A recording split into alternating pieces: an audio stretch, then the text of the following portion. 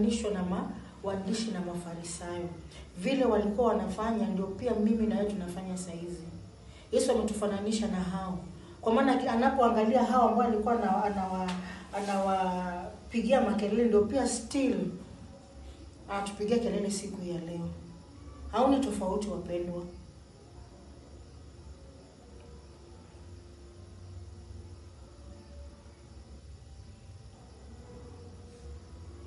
Kuna siku mhubiri alituhubiria akasema, akatuambia kwamba usiku umeendelea sana, si ndio?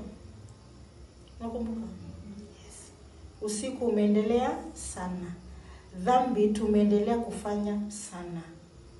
Wacha sasa mwanga ambao ni mchana wetu sasa tuanze kutenda mambo ambayo yanampendeza Kristo, kwa maana mahali tumefika, wapendwa, kila mtu anajua aina ya dhambi. Kila miongoni mwetu sisi watu 13 tunajua all types of sins, tunajua machukizo na tunajua vitu vyote ambavyo vinaweza kututia najisi ndani ya maisha yetu ya Kristo, na bado still tuna entertain na bado still tunazisongea karibu sana.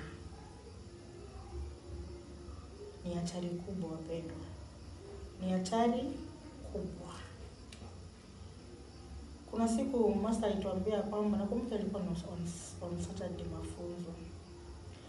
Wacha yule mtu ambaye alikuwa wa 2023 anapoangalia katika records zangu anaona ule mtu wa 2023 saizi amekuwa tofauti na mwaka huu wa sasa.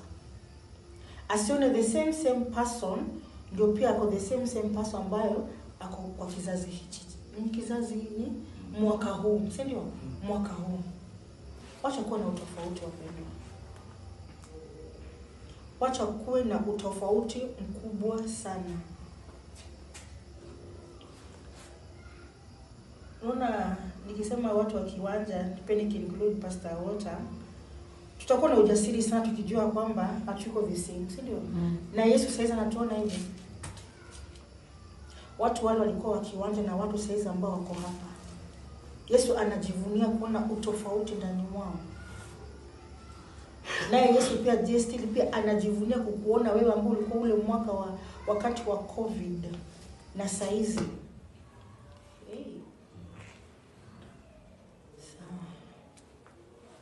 Yesu anajivunia. Wacha kuwe na mabadiliko katika maisha yetu ya Ukristo, kwa maana najua kwamba mafunzo ambayo tunaendelea kupata iwe inatubadilisha, iwe inaweza kututoa rangi ya dhambi, inatupatia rangi ya utakatifu, ya utaua, ya haki ndani ya maisha yetu ya Ukristo. Hivyo ndio Yesu anataka ile rangi ambayo tulikuwa tumejipaka ya hasira, ya chuki, ya uwivu, aina yote ya dhambi, the more tunaendelea kumfunzwa maneno yake, wacha rangi ya utaua, yani rangi ya utakatifu, rangi ambayo ni neno la Mungu linatusafisha, linaondoa hiyo rangi ya uchafu ndani ya maisha yetu ya Kristo. Hivyo ndio Yesu anataka upendo. Kwa maana yeye anasema ni katika kitabu cha Zaburi, utuma neno kuponya, si ndio? Na lengo la kuponya mtu ndio atoke katika hiyo maangamizi, alikuwa maangamizi ya dhambi, maangamizi ambayo alikwenda kuangamia katika moto wa jehanamu. Amelituma neno ili lije kutuokoa, amelituma neno lake ili lije litutoe katika barabara ya upotovu, tutoe katika barabara ambayo ya utaua, barabara ya kujitenga na kila aina ya dhambi. Tena kitu kingine tena tena mafunzo ya pili ambayo tumefunzwa watu ambao ni sema watu ambao walikuwa nadhiri mbele za Mungu, walikuwa wakfu katika machoni pa Bwana, ambao pia mimi na wewe saa hizi mbele za Bwana sisi ni wakfu mbele zake. Kuna siku master alituambia kwamba sisi hatuko hatuko the same na Wakristo wa kawaida, si ndio? Mm. Tuko tofauti tusiige vitu ambao wanafanya, ndio pia sisi tunaeka katika maisha yetu ya Ukristo wa saizi. Sisi ni watu tofauti, na ukiangalia hawa watu ambao tumeambiwa kwamba walikuwa walikuwa wamewekwa wafu kwa Bwana, hawakuwa wanaiga vile watu wa mataifa walikuwa wanafanya. Maongezi yao yalikuwa tofauti sana, njia zao zilikuwa tofauti sana. Unaona mali hapa ambayo tuambiwa kwamba wameambiwa kwamba wasishike nini maiti, si ndio? Na ukiangalia watu wa mataifa, hiyo hiyo ilikuwa ni kitu normal, kitu ya kawaida. So tujue wapendwa, kuna vitu ama kuna mambo Yesu hataki kuona tukijihusisha. Yesu hataki sana aone tumekaa barazani pa wenye mizaa. Kwa nini? Kwa maana alitutoa hapo. Tutasema we are jina gani? Kitu special. Hautakichukua hivi hivi, si ndio? Utakichukua na uangalifu na ile tender care ambao unajua hii kitu nimepewa, haifai niweke mala hapa chini, haifai niweke hivi hivi. So pia wateule wa Mungu ambao wamemjua Mungu, Yesu ambaye anawafurahia, Yesu ambao amewateka, yani, yani Yesu amewakumbatia, Yesu amewatoa miongoni mwa wa ulimwengu, amewaweka kando. Yesu hataki kuona wanaiga tena vitu ambao walitolewa kwayo. Yesu anataka tutoke hapo, wapendwa. Hata nikichukua tena example mzuri kwa hii, watu ambao walijitenga tuchukue hii historia nani, si story, ni tukio litokezea. Watu ambao waliona hii nini, testimony ya James. Ni Kawalo. Eh, hiyo. Siku hao mama sijui walikuwa wangapi, walikuwa wangapi? 20 ambao primitive women. Illiterate. Really? Sawa, walijitenga for those ni 90 days, ilikuwa ni 90 days eh?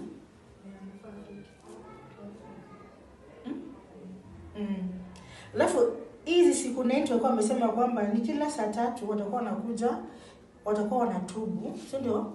Wanasifu. Kuna procedure walikuwa wameweka, na vile walikuwa wameweka, imagine walikuwa wamemhusisha nani? Mungu. So kumaanisha kwamba ukienda kinyume na hayo maagizo ambayo mlikuwa mumeweka Mungu anaondokea.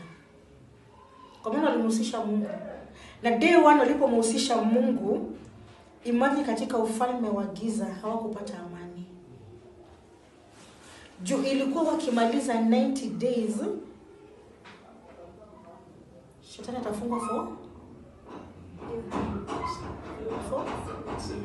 70 years. Imagine. Imagine hawa mama hawako wanajua neno. It's only their pastor alikuwa amejua nini neno la Mungu, kumaanisha kwamba mtu ambaye amewekwa wakfu ama kitu chochote ambacho kimewekwa wakfu kwa Mungu katika ulimwengu wa giza, wanakwanga na wasiwasi na huyo mtu ama hicho kitu unaweza ukajuka, unaweza ukaangalia hawa mama hawajui kuomba, hawajui kusoma, si ndio? Sasa itakuwaje threat kwa adui? Kwa maana adui alijua kwamba hawa wakiendelea hivi vile wanafanya kila siku, hawakosi every steps ambao wameweka, kuna hatari katika kingdom ya giza. Na unaona mwovu hakulala, alitafuta ni nani nitamtuma aende haribu hawa watu. So pia hivyo ndivyo ilivyo saizi sisi ambao Yesu ametuweka kando, Yesu ambao amefanya juu chini, ama anazidi kufanya juu chini, tuingie katika ufalme wake. Tujue kwamba shetani pia hafurahii, pia ameweka mikakati zake, ameweka makali yake, pia afanye juu chini, atutoe ama akutoe wewe, anitoe mimi, ili tusifike wapi? In our destiny. Sasa tusione hii- ni kama ni mzaa, wapendwa.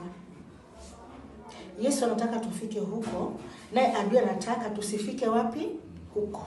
So ni vita mara mbili. Itakuwa vyema mimi na wewe, yale yote ambayo master anatufunza, anatuambia, anatuonya, tuyatilie maanani na tuweke yote into practice. Itatusaidia wapendwa. Amen. Twende ni Zaburi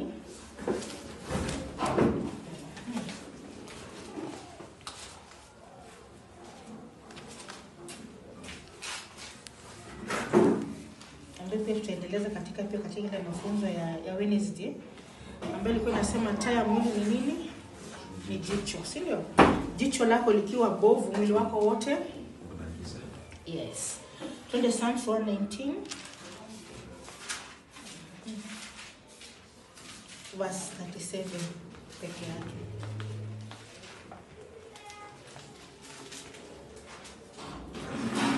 Verse 37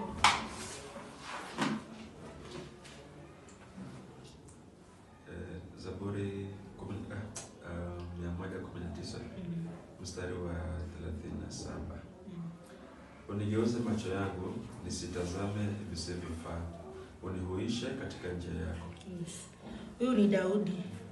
Daudi alijua madhara ya macho, na Daudi aliona madhara ya jicho lake mahali lilimpeleka, na akajua haya macho yangu nisipoyashughulikia yatazidi kunipeleka mahali pabaya. Aliambia Mungu amgeuze macho yake yasitazame, yasitazame visivyofaa.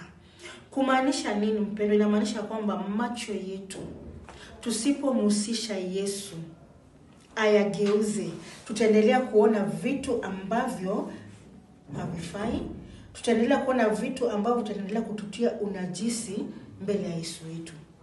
Macho ambao macho ni kila, nasema macho ndio inamulika, si ndio, njia ya Mkristo. Macho ndio inamulika mahali anafaa akanyage, mahali anafaa aepuke. Macho anasema unigeuze macho yangu, kwa sababu macho yangu, macho yako wewe yanataka kuona yale ambayo yatapendeza mwili wako, si ndio? Yanataka kuona yale ambayo yatakuweka katika kiwango cha hali cha wanadamu wengine, ili ndio pia usibaki nyuma, si ndio? Unaona ile mtu anakuja anakuambia we uliona kitu fulani, unaogopa kusema hapana, atakuchukua, atakuchu- atashindwa, kwani uko dunia gani? Na kumbe hizo vitu ambazo macho yangu yanataka kuona huenda inamzuia Yesu ndani ya maisha yangu. Hizo vitu ambavyo mimi ninapenda kuziona inafurahisha mwili wangu, kumbe pia inanizuia katika ulimwengu wa roho nisikuwe intact with my master. Kuna kitu mhubiri ame, ame, ame, amesema asubuhi ya kwamba mtu spiritual shetani inakuwa ni vigumu sana kumfanya nini, kumpata, si ndio? Na ana atampata akishuka katika levo ya kimwili, na ili nishuke katika levo ya kimwili lazima ni macho yangu ikubali tamaa yote ya mwili, si ndio? Yes, nikubali. Macho inaniambia he, niangaikie mwili. Macho inaniambia nishughulikie mambo yangu ya nyumba yangu. Macho yangu yananiambia nishughulikie vitu vya ulimwengu, pia mimi nisibaki nyuma, kumaanisha ya kwamba ili macho yangu yageuzwe na bado ninaishi katika ulimwengu huu wa sasa, ni lazima niitishe msaada kutoka kwa Yesu. Peke yangu mpendwa, sitaweza. Peke yako mwenyewe pia utafanya nini? Hautaweza. Chukua hii mfano, tunaishi katika ulimwengu huu wa sasa, na Yesu anataka tutoke katika tamaa ya ulimwengu huu, si ndio? Na tuchukue tu example katika ulimwengu, na bado macho yetu yanaona vitu vya ulimwengu huu, vinataka vitu vya ulimwengu huu, na bado vinatamani. Unaona hapa ni two powers zinapigana, upande huu wa Yesu na upande huu wa macho wangu wa mwili, ambaye nataka nitekeleze yote ya ulimwengu So itakuwa ni vigumu sana mpendo, tusipomhusisha Yesu ayageuze mtazamo mtazamo wetu wa maisha hii ya sasa, na ni mpaka tu Yesu aingie ndani ayaondoe tamaa yetu yote ya macho. Ni mpaka tumuhusishe Yesu, vile Daudi alisema unigeuze, kwa maana Daudi alijaribu kujigeuza akashindwa, si ndio? Kwa maana kuna tukiangalia hii tukio ambalo limfanyikia Daudi, Biblia inatuambia kwamba alikuwa katika nyumba yake ndani, si ndio? Akitoka nje, pua ndio iliona, ni masikio ama ni kichwa? Macho ndio iliona, na hakujua kwamba haya macho vile imenielekeza hivi, nimeona imenitia nini, unajisi. Ndio akakuja akajua baadaye. Kumaanisha nini mpendo? Inamaanisha kwamba kuna vitu tunaona na macho zetu, hatujui kama yatutia unajisi saa hiyo hiyo, tunakuwa tuna realize when it is too late. Tumeona vitu ambavyo hampendezi Mungu. Ndio nakumbuka kuna kuna ilikuwa ni Sunday ama Sunday ile ingine Master alikuja akasema kwamba in ladies tusitamani nguo hata kama iko wapi sokoni, kwa maana aliona macho yetu inaona, si ndio? Tuna admire the the fashion, si ndio? Tunasema hii Ingo ni smart. Masa Sandal aliona hivyo. Ni nini iliona ndani yetu? Ni macho na Masa akaona kwamba hii tukiendelea hivi adui anaenda kufanya nini? Kutunasa. Sasa akatuambia kwamba anything ambayo tunaona katika sokoni tusitamani. Kini chake ni nini? Macho. Macho. Hapa nikaji nika nika nika nika tu nikajiambia kwamba Sauli ah, hapana Solomon, si ndio? Kama angesoma hii verse sangekuwa mali pazuri, angeshia mali pazuri, si ndio? Kwa maana macho yake yaliona wanawake wa wa Misri ni wazuri, silikuwa ni macho? Yes. So pia mimi na wewe imefika wakati wapendwa, kuna ilikuwa ninaenda kitu bila kuhusu speed governor, ilikuwa Thursday. Yes. Mhm. On Thursday, speed governor. Tuambie pia Yesu atuwekee speed governor katika macho zetu, kwa maana vitu tutaendelea kuviona ndani ya maisha haya vitaendelea kututia nini? Unajisi. Kwa maana pia adui pia naye pia amepamba ulimwengu vilivyo, amepamba kila kitu ili anase wateule wa Mungu, amepamba kila kitu inapotokea. Haja yake ni kunasa nini? Wateule wa Mungu, kwa maana najua the majority yako nao. Yeye haja yake anataka kunasa wateule wa Mungu, so anakuja na mapambo ya kila aina, kuanzia kwa simu, kuanzia kwa mavazi, kuanzia kwa majumba, kuanzia kwa ma, magari, yani anything. Anataka kunasa wateule wa, Mungu, na atawanasa kama macho yetu hatutamlilia Yesu ayageuze.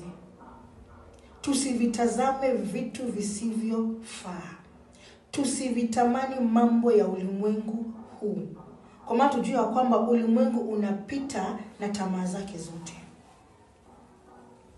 na macho ndio ilimfanya ni Hawa, si ndio? Alitamani nini? Tunda. Ni macho akatoa tunda ambalo Biblia inasema kwamba Mungu aliwakataza, si ndio? Msiile. Biblia inasema kwamba adui alijua ya kwamba definitely wamefanya nini? Wamekatazwa. So alienda akafanya hilo tunda lipendeze katika macho ya huyu mke. Sasa ndio Biblia inatuambia hivyo, lipendeze. So hata sasa anatumia vitu, macho yetu inapoangalia tunavitamani, inakuwa inapendeza katika macho yetu. Hatutaona dhambi, tunaona nini? Inapendeza. Haya, umeona hiyo nyumba inapendeza, hiyo ni trap ambayo adui ametuwekea. Haya, umeona ni kitu fulani, si napendeza? Ndio tumeambiwa aje, tuna sana dhambi imekuwa ni nini? Jambo la kawaida kutamani itakuwa tena tena kutamani ni dhambi, itakuwa ni kama ni jambo la nini la kawaida. Anatutoa katika barabara ya utaua, anatoa katika barabara yake ya kuona dhambi ni jambo la kawaida. Sasa itafika mahali itakuwa sasa, tutakuwa tunahofia ukiulizwa swali, we uliona fulani, unaogopa kusema aa, ama umesikia news fulani, unaogopa kusema hiyo news. Sijafanya nini, sijasikia. Jua watakwambia kwani uko dunia gani? Unaishi wapi? Tusiogope hiyo, tuogope macho yetu yasituoneshe vitu ambavyo Yesu hataki tuzione. Tuchukie hizo vitu, tukae mbali na hizo vitu. Kwa nguvu zetu, kwa bidii yetu, wapendo, hatutaweza. Ni kuitisha nini? Msaada. Kwa maana kwa Daudi aliitisha msaada, unigeuze. Alikuwa anaambia nani? Mungu wake unigeuze macho yangu nisitazame, kwa maana zile vitu alizita, alivitazama vilimweka katika dhambi. Zile vitu alivitazama zilimfanya awe na najisi mbele ya Mungu. Hata kwa tunaona vitu vile watu wa Kristo, vile watu wengine wanavitazama, tutakuwa tunaangalia maisha katika mtazamo wa Kristo tutakuwa tunaangalia mambo ama tukio vile Yesu anataka tuyaone. Napendanga hii hii, hii verse ambayo Paulo anasema kwamba si anaishi tena, ni Yesu anaishi. Kumaanisha kama ni Yesu anaishi, sitaongea vile mimi ninataka, sitafanya vitu vile mimi ninataka, sitaangalia vitu vile mimi ninataka, sitasikia ama sitasikia mambo vile mimi ninataka. Kwa maana ni Yesu ameingia ndani yangu, nitaangalia vile vitu Yesu anataka. Na kwa hii pia pia na- inaweza kuwa pia ni good example kwetu sisi sote, tume experience hizi vitu. Unaweza kuwa unatembea, huenda adui amepanga mtego mbele yako, unasikia tu umevuka barabara, hujui kwa nini umevuka, na huko unafaa uvuke Alafu pia ukiangalia baadaye unasema oh, kumbe it's master hapo anataka nifanye nini? Nione hii. Aya, pia ingine za kuwa unaweza kuwa mnaongea ustukie, hata si ustukie, unashindwa mdomo wako umenaswa, unashindwa aya, kumbe ni kama ningeongea. Alafu unakuja unaambiwa si kama kama mna mnasha kwa experience hiyo, unaambiwa kama ungeongea ungeongea mambo ambayo sitaki uongee. Aya, na kuna mahali unazokuwa unatembea usikie watu wanaongea, uko like ni kama mtu anakupiga kofi kwa masikio. Sitaki kusikia, usikie hizo vitu. Kwa nini? Kwa maana tumemhusisha Yesu ndani ya maisha yetu. Sasa ni Yesu, wacha aendelee kuishi ndani yetu, aendelee kugeuza macho yetu yasione vitu ambayo Yesu mwenyewe. Sasa kuna mafunzo tulifunzangwa, ilikuwa ni mhubiri Biko kitambo akisema wewe huenda unaona vitu na Yesu wako hasikii, is not comfortable watching what you are watching. Uko mahali unaongea, Yesu wako hayuko comfortable with how you are speaking. Niseme, ya karibu. mimi nilikuwa huko nachoka mahali sana. Sasa kulikuwa na mama wengine hapo wanapigana wanapigana, kwa hiyo nikaenda nikasimama hapo, nilitolewa mbio Nika- nikajikuta niko kwa nyumba, nilikuwa nakosea. Alafu na kitambo tukio kama hizo ungetaka kujua nani atawin, nani atalose, si ndio? Uko na story to tell. Ati kitambo na huyu mwingine hata anataka kujua.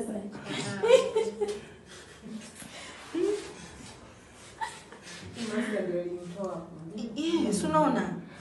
Kwa maana anaishi ndani yako saizi, si wewe kadhi unaishi, ni Yesu anaishi, na tukubali na tusiwe na tusiwe na ile shaka. Sio tusiwe na shaka na yeye, anakaa ndani yetu, anatembea na sisi na anakaa ndani ya nyumba zetu, tujue hivyo. So tumu, pia tumwambie tu Master, zidi endelea kunigeuza, endelea kugeuza labda kuna ile percentage kidogo ninaona vitu ambavyo utakiwe kuona, na tukirudi sana pia katika rununu zetu na runinga zetu, si ndio? Kuna vitu ukiscroll kwa "Hey, unastuka. Kwa nini unastuka? Na kitambo wako unastuka mpaka unaweka saba, kama uko na za masikio ndio mtu mwingine asisikie, unaweka sasa ndio uone vizuri. Mbona saa hizi unastuka? Kwa maana yule anakaa ndani yako hataki kuona hizo vitu. So kuna vitu zingine tusipush, wapendwa.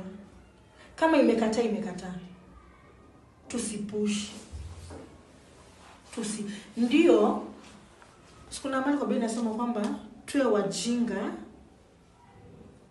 Hebu nisaidieni. Maneno ya Mungu ni upuzi. Kwa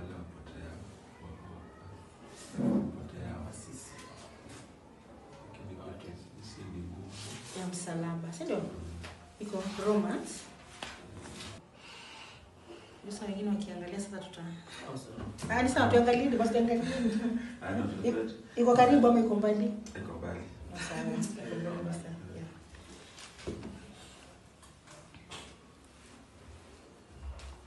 Mhm.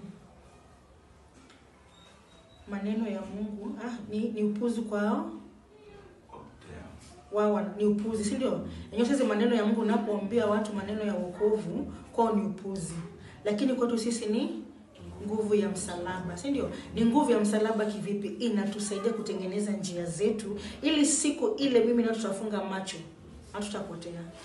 Ah, watapotea, sisi hatutafanya nini? Hatutapotea. Tutafurahia ile kujikana kwetu kwa ulimwengu huu. Tutapokea nini? Ujira wetu.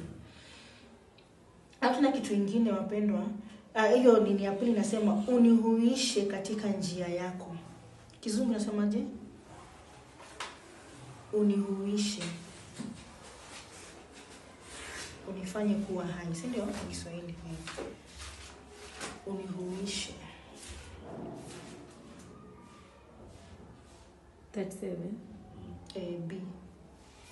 nasema preserve my life according to your word My life mm. eh, unuhuishe katika njia yako, yaani unihifadhi, si ndio? Mm. Katika njia yako, njia yako ya ukweli, ambayo Biblia inasema kwamba wewe ndio njia na kweli na uzima.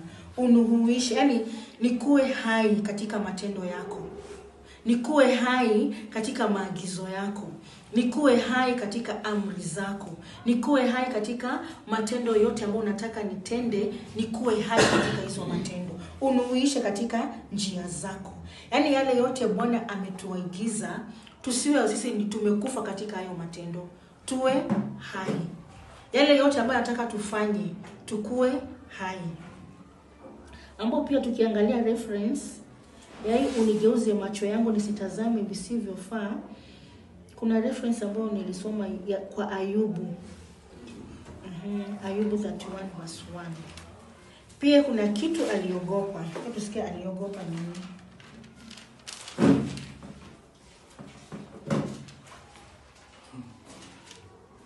Huyu ni Ayubu.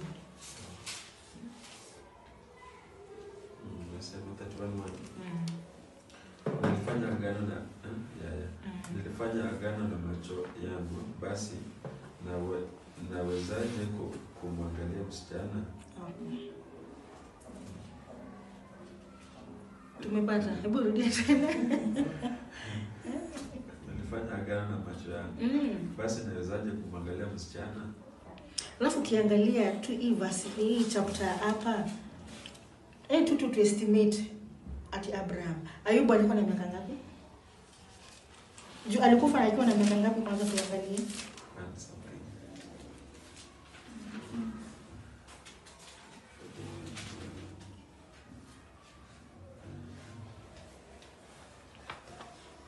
Miaka mia na arobaini 140 years, si ndio?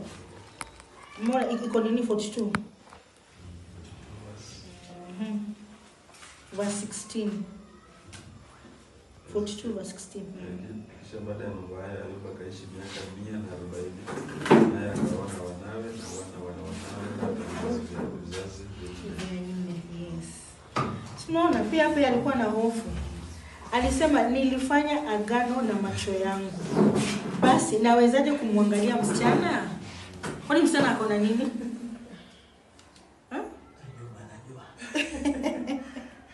Mpaka akawekwa akaweka nini? Question mark.